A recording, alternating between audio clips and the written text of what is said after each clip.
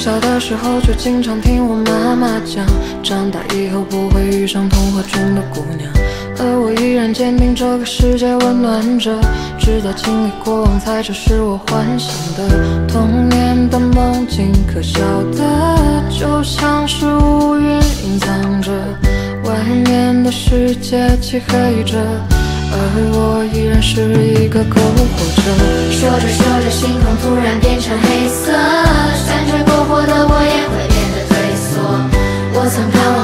我才坚定的活着。接下来的故事，慢慢仔细听